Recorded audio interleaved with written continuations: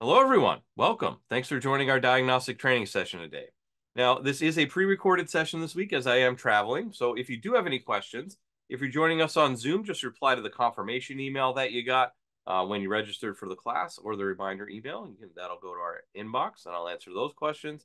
Uh, if you're watching on YouTube, just uh, make sure you leave a comment and I'll get to those.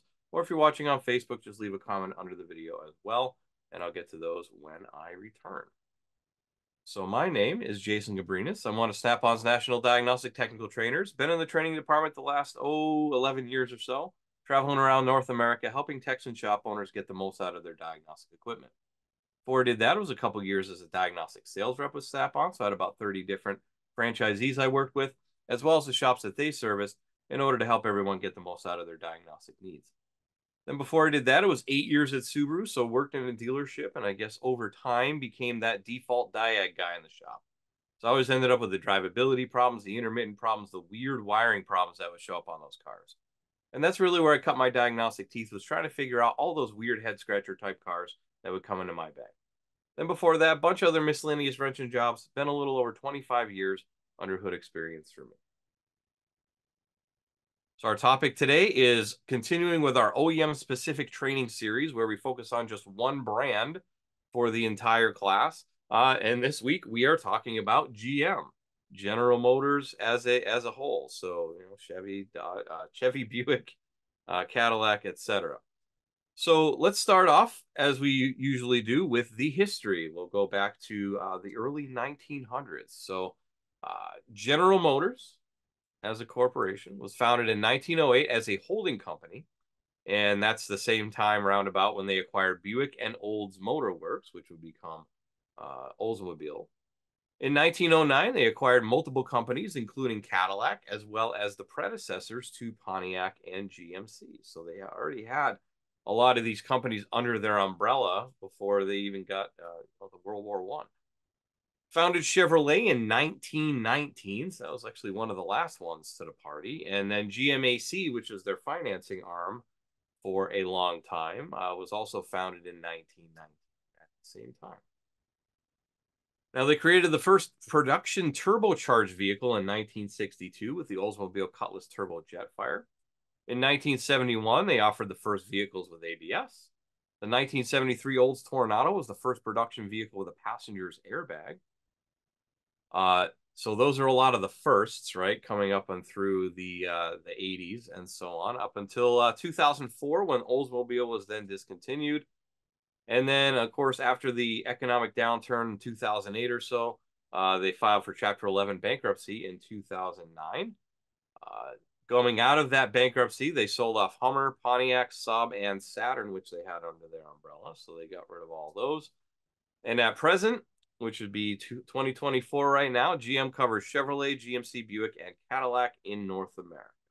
Uh, they do have some other holdings in other parts of the world, but that's all we're going to talk about today is Chevy, GMC, Buick, and Cadillac.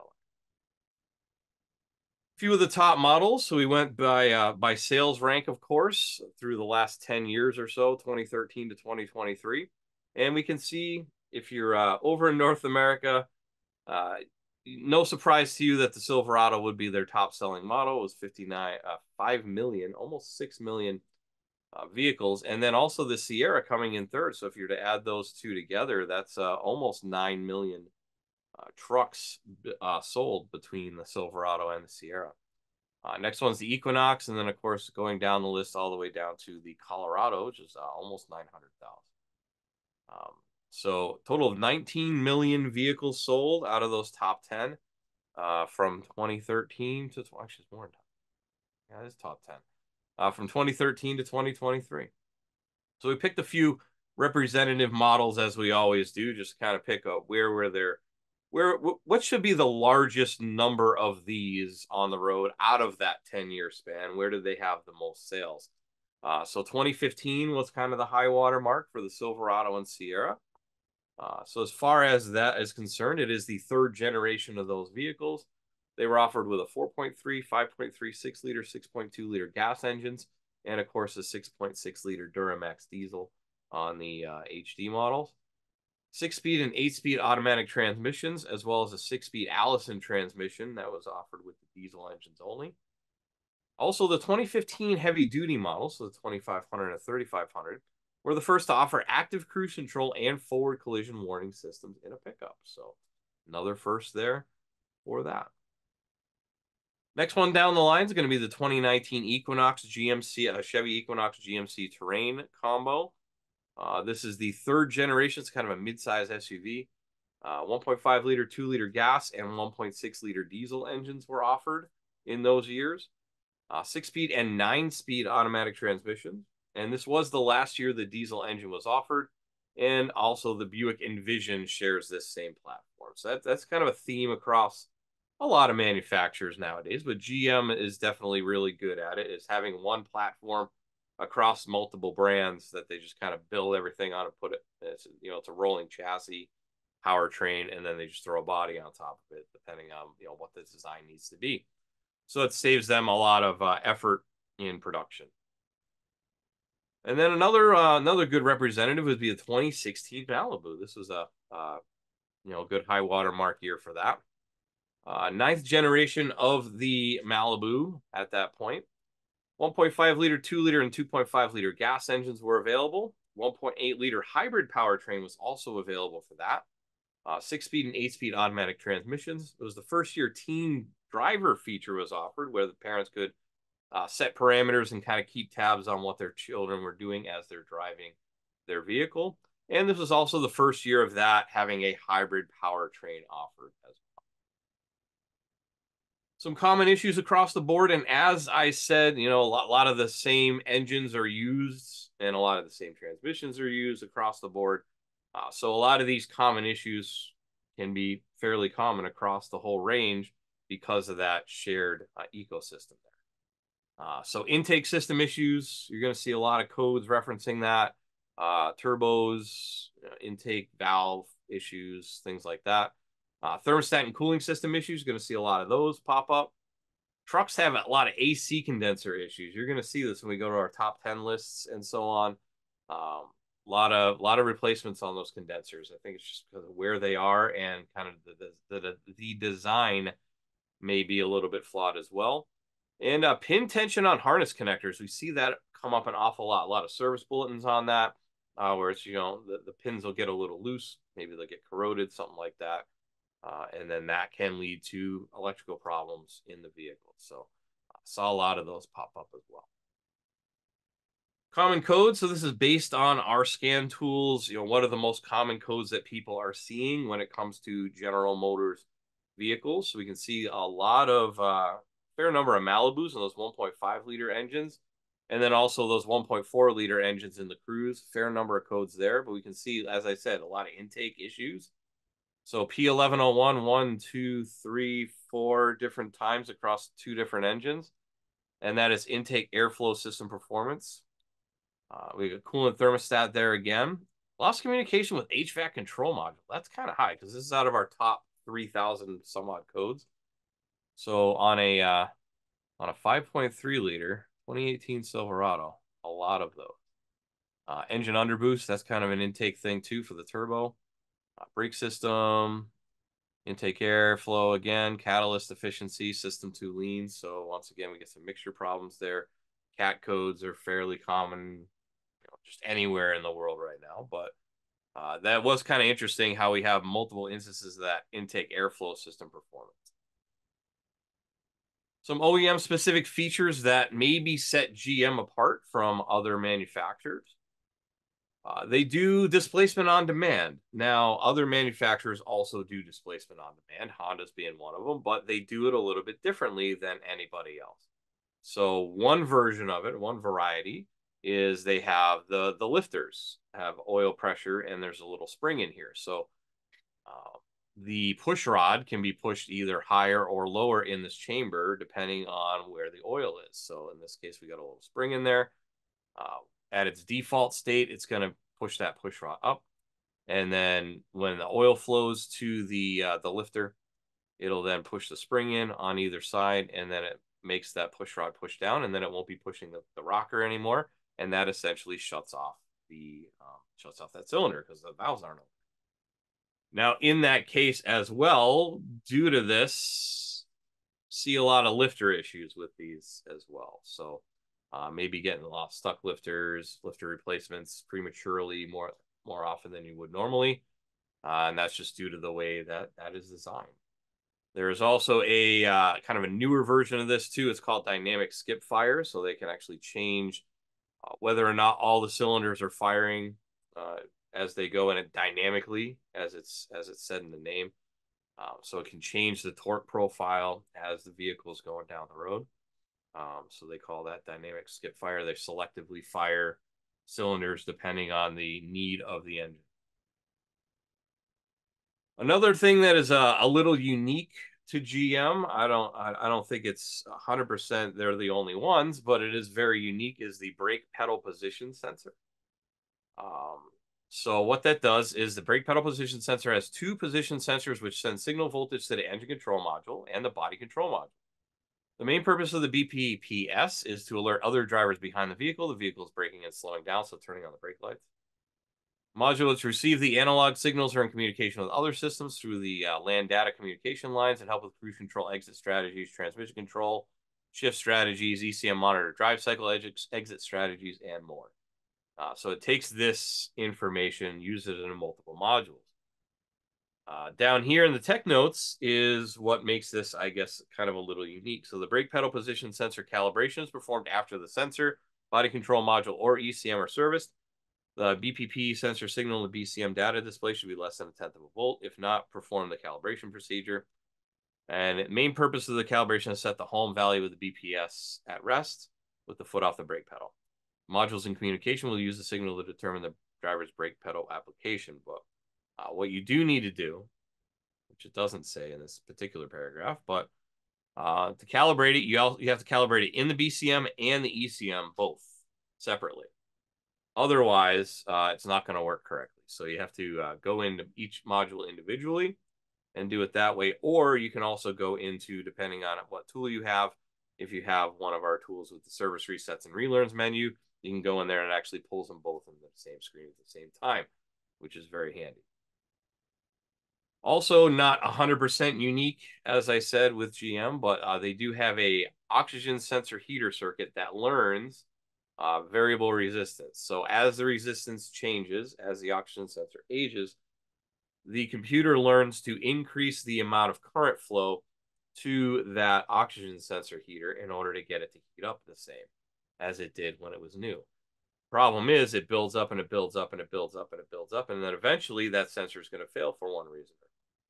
When it does fail, you're going to put in a brand new sensor, and the brand new sensor is going to expect a lower level of current. It's going to be receiving a much higher level of current, and usually what happens is all the magic smoke comes out.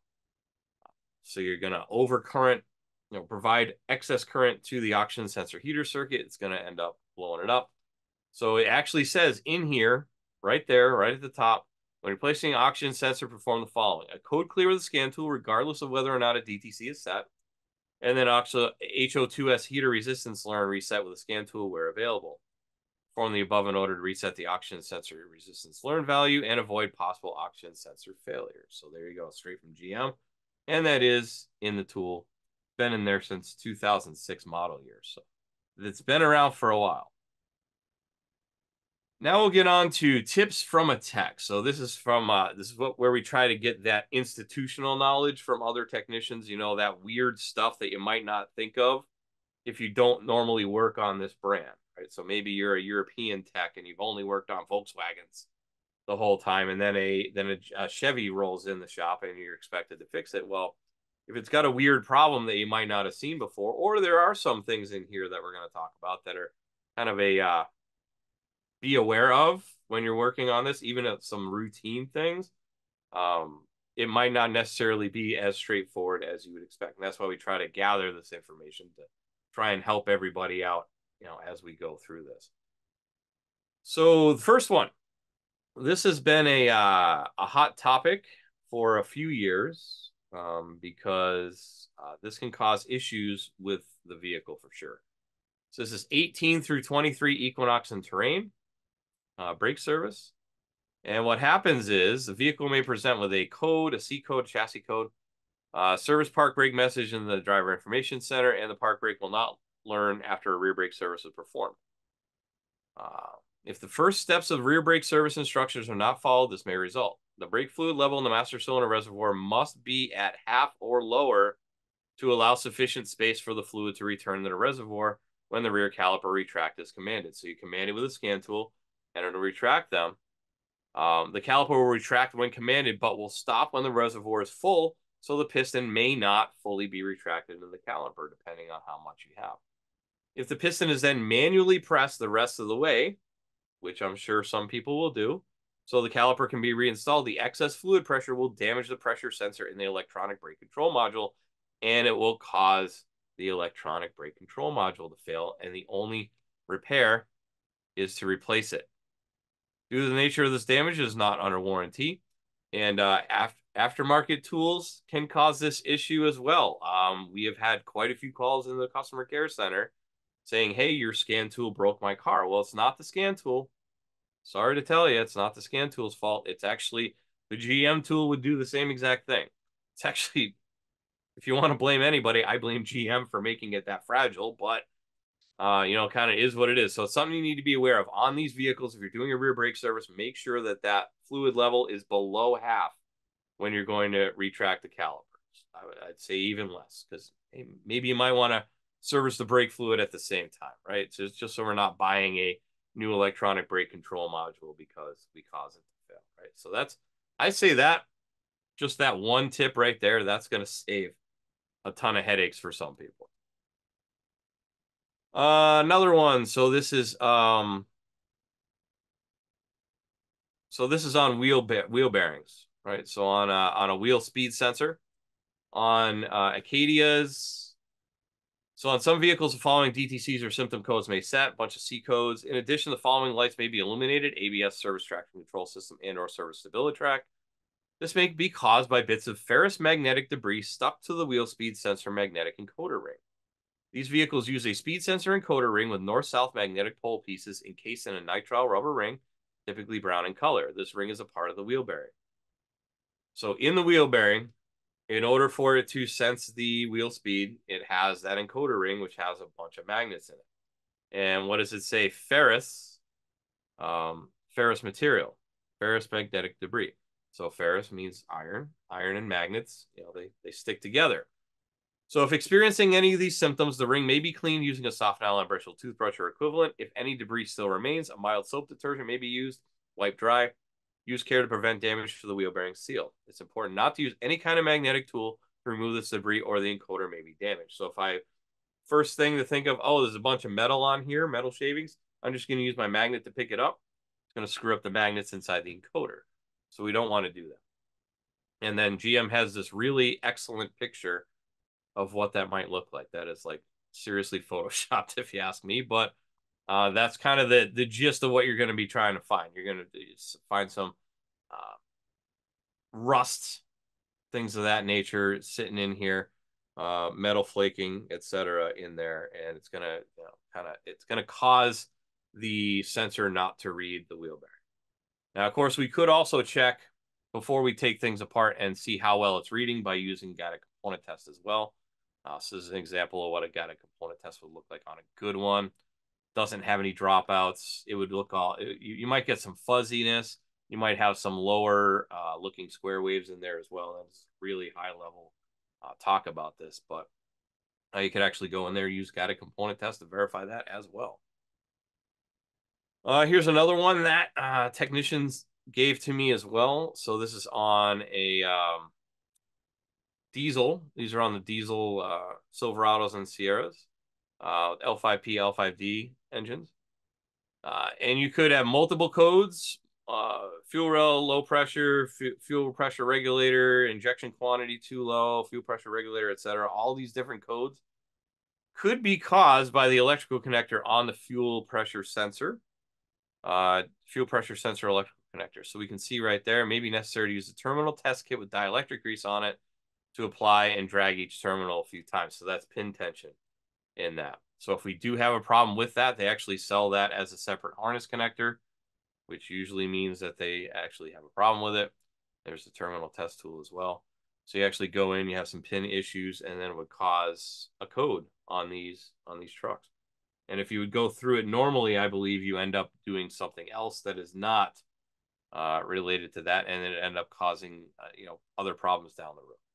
So that's just a few off the top, uh, a few different things. I, I I think a couple of those are definitely not intuitive if you don't work on those.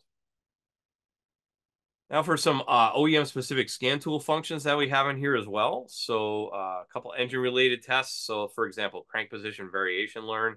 Uh, that's not 100% unique, but just kind of the way it works is different than other manufacturers. EVAP service bay test, that one's very common. And uh, it also requires definitely certain parameters to be followed in order to make that happen. Oxygen sensor heater learn, like we said, not 100% unique, but there's only a couple brands that do it. Uh, brake pedal position sensor learn for sure. You got to go into two different modules and automated injector balance tests. There's there's other injector balance tests on other manufacturers, but just the way that that one works for GM is unique to how it would work for other manufacturers.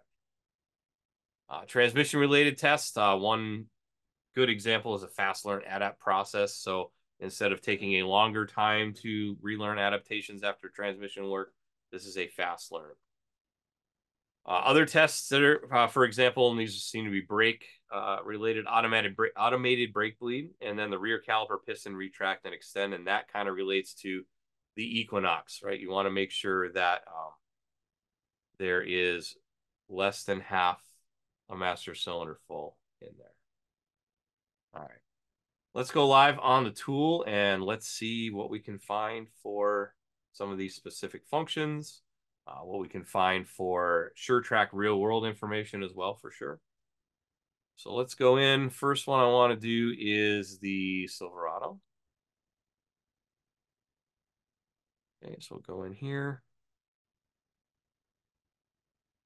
And we'll see, like, if we go into engine, for example, functional tests, you have the automated automated injector balance, EVAP service bay test, crank variation learn, cam actuator test as well for variable valve timing, cylinder power balance test, uh, different uh, output controls as well, compression test. Uh, there's that brake pedal position sensor learned in the engine. Uh, cylinder deactivation for the uh, displacement on demand as well as in there. Uh, fuel trim resets definitely necessary. Oxygen sensor re relearn is in here too, right there. Oxygen sensor heater learn. Um, so a lot of different things available in there uh, as well as a wealth of data. If we were to go to our SureTrack,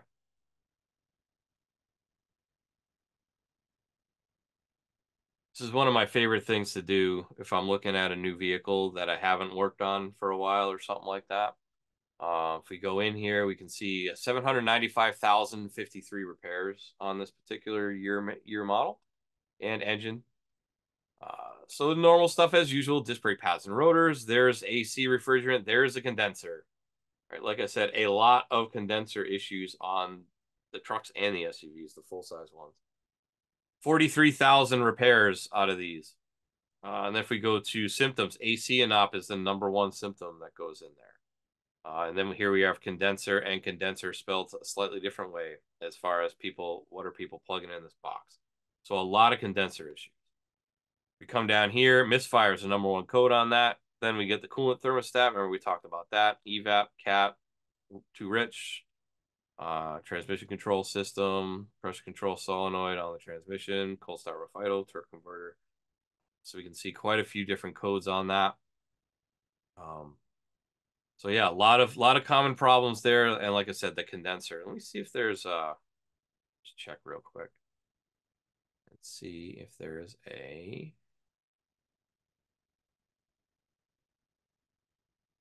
no bulletins on it. So yeah, definitely a uh, definitely an issue. Let's look at part. Uh, let's see, without aux batteries an hour, and it's like 200 bucks for them. So that's not terrible, uh, considering how many need to be replaced. I guess that's uh, not awful. All right, uh, next one. Let's go to the Equinox.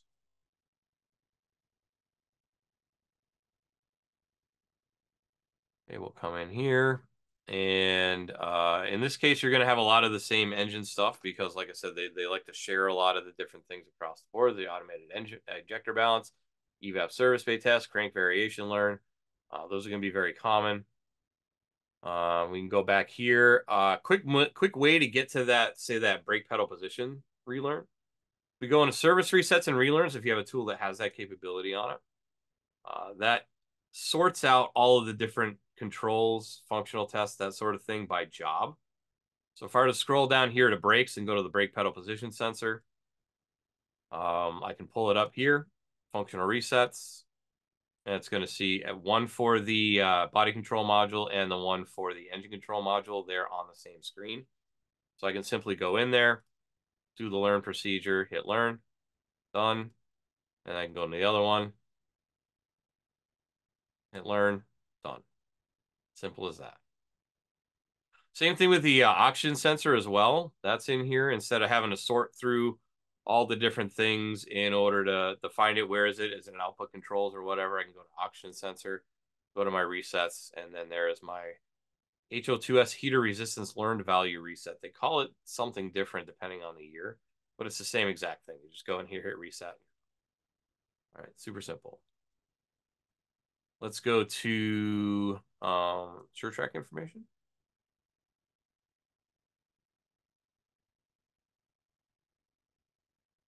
Right, come in here and we can see in this case, the two liter engine was not the most common engine here, 14,586 repairs.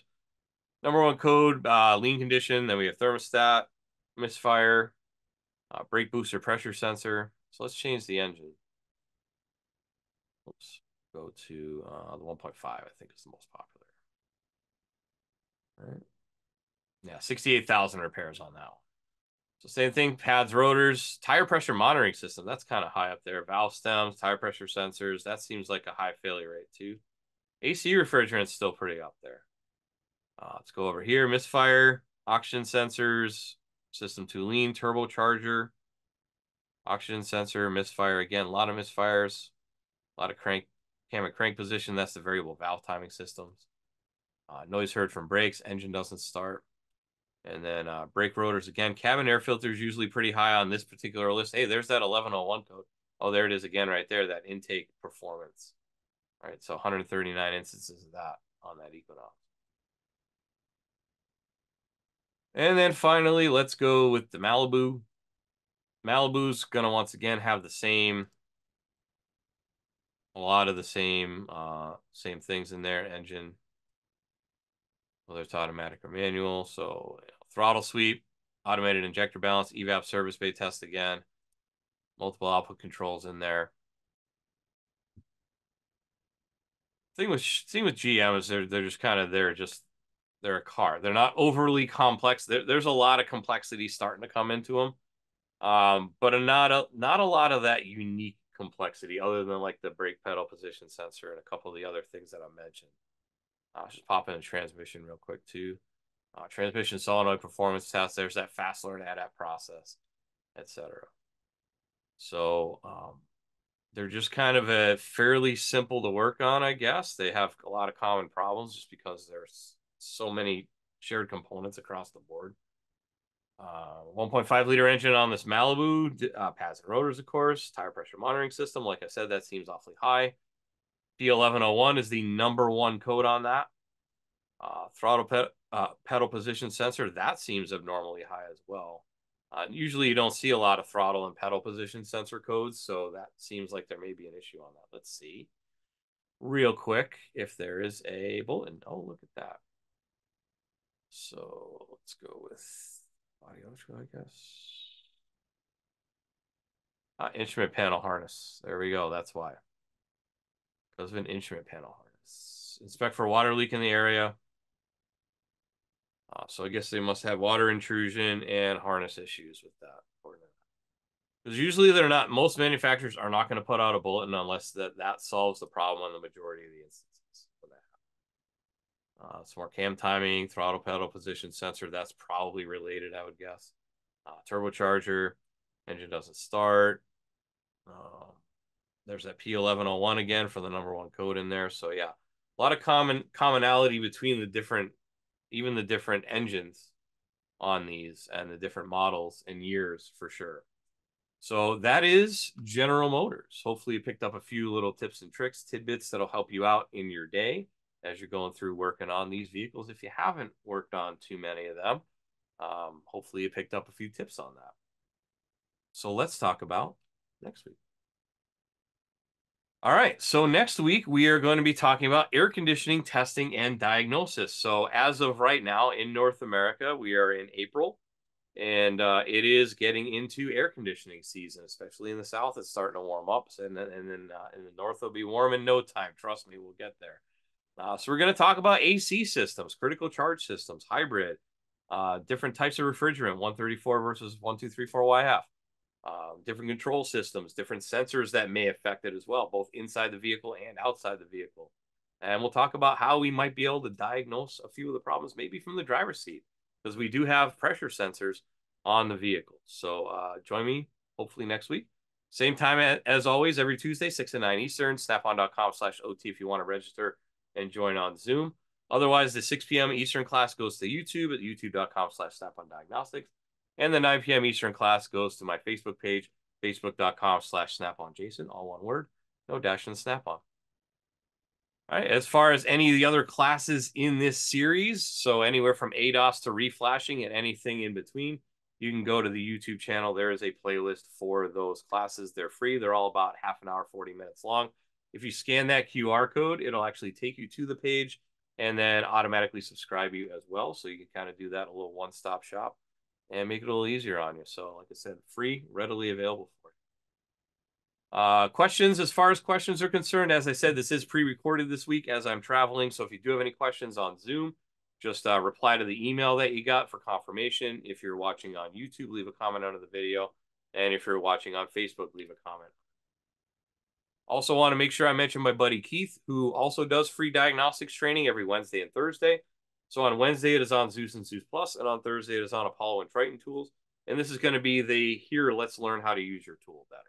So the first hour is going to be let's set up your Wi Fi, make sure that's working, uh, talk about Security Link, talk about Snap on Cloud Service, uh, talk about a few other setup functions on the tool, and then uh, it'll go through code to completion, scanner functions, fast track intelligent diagnostics. That's about an hour for that section. Then he'll take about a five minute break. And after the break, it's all about guided component tests and lab scope and scope and meter functions on the respective tools. Uh, definitely worth your time. It's about an hour and a half, hour and 40 minutes. And it's Zoom only, kind of designed to have the tool in front of you so you can watch what Keith's doing on the screen, follow along on your own tool.